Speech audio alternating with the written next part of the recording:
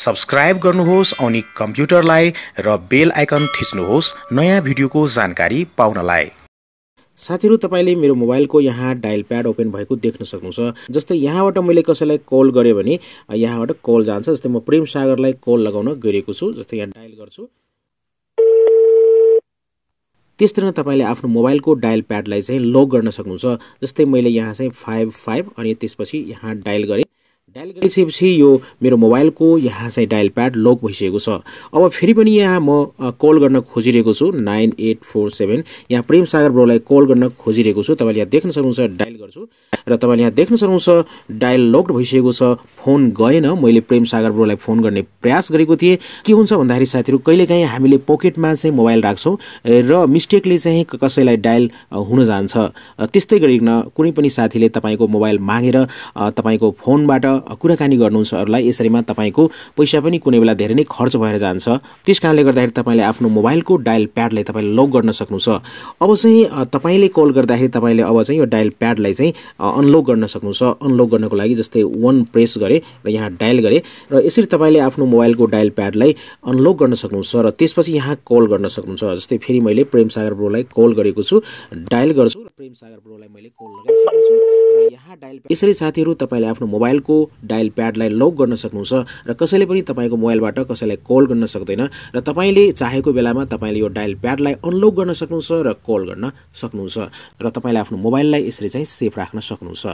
अब यो सेटिङ तपाईँले पनि आफ्नो मोबाइलमा कसरी गर्न सक्नुहुन्छ? पक्कै पनि यो भिडियोलाई अन्तसम्म हेर्नुहोला र यसको बारेमा चाहिँ जान्नुहोला।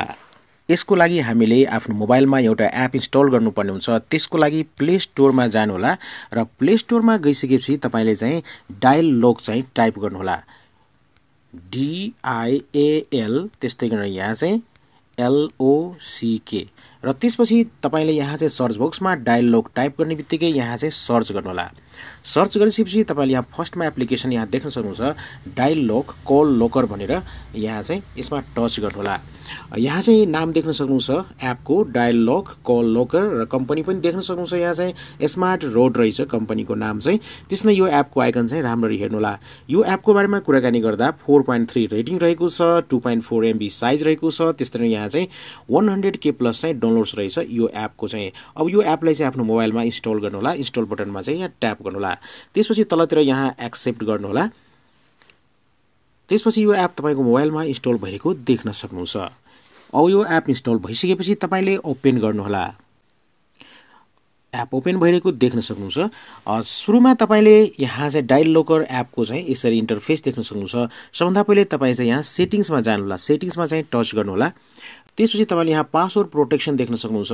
जस्तै कि यो एपमा तपाईँले पासवर्ड लगाउन चाहनुहुन्छ भने यहाँ तपाईँले पासवर्ड लगाउन सक्नुहुन्छ प्रोटेक्टेड गर्न सक्नुहुन्छ। यदि तपाईँले यो एपमा चाहिँ पासवर्ड लगाउनु हुन्न भने त्यतिकै छोड्न सक्नुहुन्छ। यदि तपाईँले मात्रै यो एपलाई ओपन गर्न चाहनुहुन्छ भने पक्कै पनि तपाईँले यहाँ प्रोटेक्टेडमा यहाँ टच गर्नुहोला। त्यसपछि यहाँ पासवर्ड लगाउन सक्नुहुन्छ।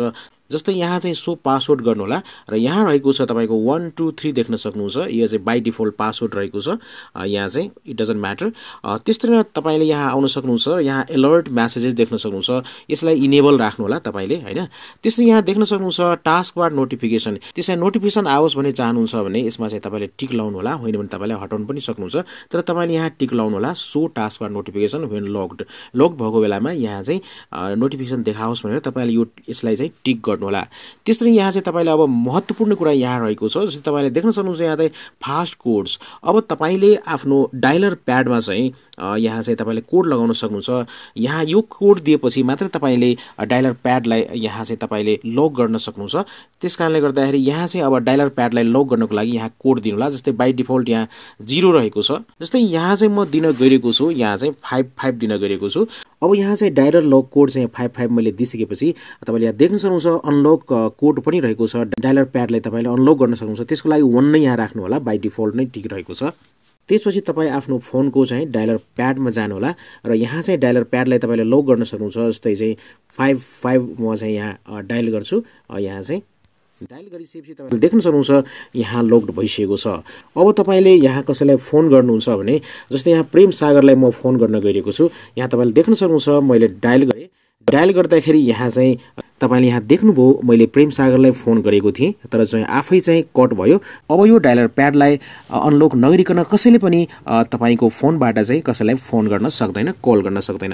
अब तपाईँले यदि कल गर्न चाहनुहुन्छ भने तपाईँले अनलक गर्न सक्नुहुन्छ यो डायल प्याडलाई अनलक गर्नु होला अनि कल गर्नु होला जस्तै यहाँ चाहिँ तपाईँले अनलक गर्नको लागि वान थिच्नु भएको छ वान दिनु होला र त्यसपछि यहाँ डायल गर्नु होला अब यो डायलर प्याड चाहिँ अनलक भएको देख्न सक्नुहुन्छ तर यहाँ तपाईँले यो एपमा चाहिँ पासवर्ड राख्नु भएको छ सुरुमा त्यस कारणले गर्दाखेरि यहाँ चाहिँ पासवर्ड दिनुपर्ने हुन्छ वान टू थ्री पासवर्ड रहेको थियो। यसलाई चाहिँ अब अनलकमा तपाईँले टच गर्नुहोला र यसरी तपाईँले देख्न सक्नुहुन्छ अनलक भएको। अब तपाईँले आफ्नो डायलर प्याडमा गएर चाहिँ तपाईँले कसैलाई पनि कल गर्न सक्नुहुन्छ। साथीहरू यो भिडियोमा यति मात्रै। यो भिडियो यहाँहरूलाई कस्तो लाग्यो पक्कै पनि कमेन्ट बक्समा जानकारी गराउनुहोला र त्यस्तै नै यो भिडियोलाई लाइक गरिदिनुहोला र साथसाथै सोसल मिडियाहरूमा चाहिँ पक्कै पनि सेयर गरिदिनुहोला। साथीहरू अन्तमा यहाँहरूलाई सानो रिक्वेस्ट गर्न चाहन्छु। औनिक कम्प्युटर युट्युब च्यानललाई सब्सक्राइब गरिदिनुहोला र त्यस्तै न बेल आइकनमा टच गर्न नबिर्सिनुहोला। नयाँ नयाँ भिडियोहरूको नोटिफिकेसन सबभन्दा पहिले प्राप्त गर्नको लागि। तपाईँहरूको समय सुरु होस् भन्दै आजको यो भिडियोबाट बिदा लिन चाहन्छु। टेक केयर गुड बाई जय नेपाल।